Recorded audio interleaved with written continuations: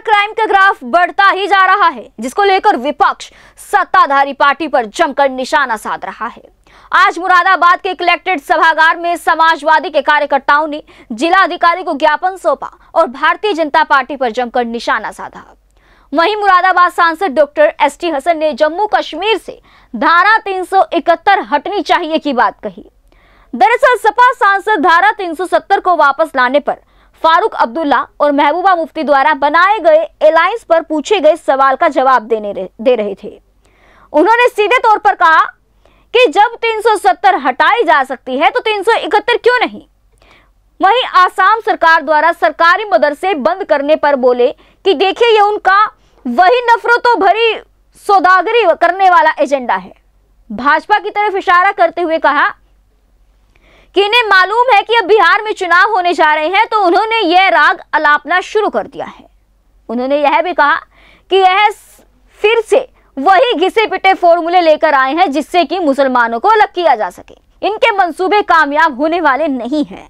वहीं कांग्रेसी नेता शशि थरूर द्वारा पाकिस्तान में दिए गए बयान पर पूछे सवाल पे सपा सांसद डॉक्टर एस टी हसन ने यह कहा कि अपने आप को अलग कर लिया कि इसका जवाब तो वही दे सकते हैं। दरअसल आज प्रदेश के सभी जनपदों के मुख्यालयों पर सपा का विभिन्न मांगों को लेकर विरोध प्रदर्शन चल रहा है। इसी में शामिल होने के लिए सपा सांसद doctor S T Hasan Moradabad collectorate पहुँचे थे। नहीं चलेगी नहीं चलेगी। नहीं। देखिए, रैली नहीं है। आज ज्ञापन देने के लिए हम लोग आए थे। आज किसान परेशान हैं, आज महिलाएँ परेशान हैं, नौजवान परेशान हैं, व्यापारी परेशान हैं और वो सारे वर्ग जो इस हिंदुस्तान में, इस प्रदेश में रहते हैं। आप देखिए, पहले कभी ऐसा नहीं होता था। अब दहशत का माहौल इतना बढ़ चुका है कि गुंडा राज हावी हो चुका है और इस तरीके से कभी भी किसी का कत्ल हो जाता है। मेरी विधानसभा में आप देखिए, परसों एक अटैक होता है। एक महिला चोर भी साथ में थी। उसने उसने मेरी विधानसभा के एक चंद्रवंशी पर गोली चलाई। आज उसकी मौत हो गई। कोई पुरसाने हाल नहीं है। गम और और डर का, दहशत का माहौल पैदा हो चुका है। मुझे लगता है कि अब हालात अच्छे नहीं हैं। अब आप देखिए, रोड पर इस कदर भुखमरी हो चुकी है। इस कदर किसान परेशानी की तरफ़ बढ़ चुका है कि आत्मदाह और आत्महत्या कर रहा है। तो मैं हम पूरी टीम माननीय राष्ट्रीय अध्यक्ष जी के नेतृत्व में आज यहाँ ज्ञापन देने आए हैं और योगी साहब जो बाबा हैं उनसे उनको मठ में भेज देना चाहिए। ये सरकार बर्खास्त हो जानी चाहिए और इस सरकार को पूरी तरीके से फेल हो गई है। ये ये जो देखिए आप ये जो लोग यहाँ पर नारेबाजी कर रहे हैं ये इसीलिए कर रहे हैं कि सरकार पूरी तरीके से खत्म हो चुकी है। तो?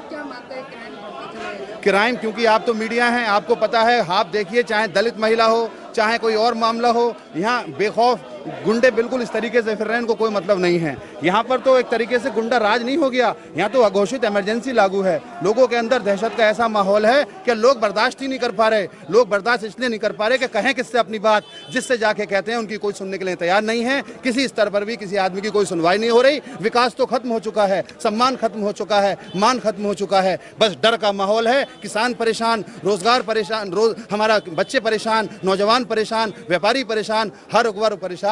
बस इनके पास तो कुछ और नहीं है। ये लोगों को कोई भी बात नहीं इस तरीके की कर पाते जिससे लोग सेटिस्फाइड हो सकें। लोग बहुत परेशान हैं। गुंडाराज हावी हो चुका है। अखिलेश यादव जी को लोग याद कर रहे हैं और इन ताला 2022 में अखिलेश यादव मुख्यमंत्री बनेंगे और ये सरकार तत्काल प्रभाव से बर्खास्त होनी चाहिए ऐसी हमने अभी मांग की है।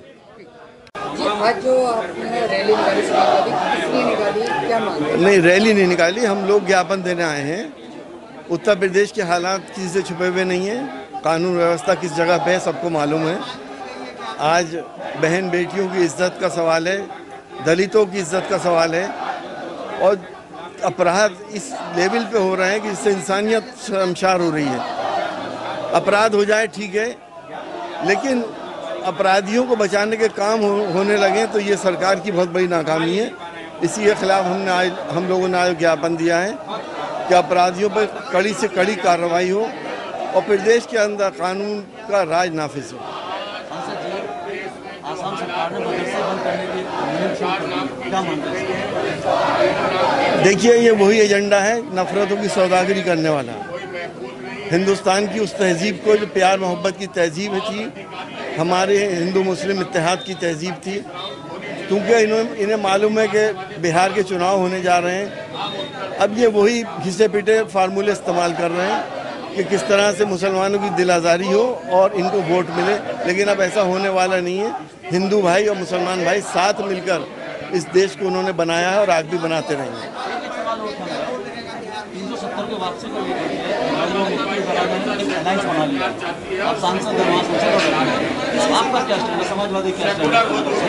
देखिए, हम हम इस, हम ये मानते हैं तीन सौ सत्तर हटी है तो तीन सौ इकहत्तर भी हटनी चाहिए थी।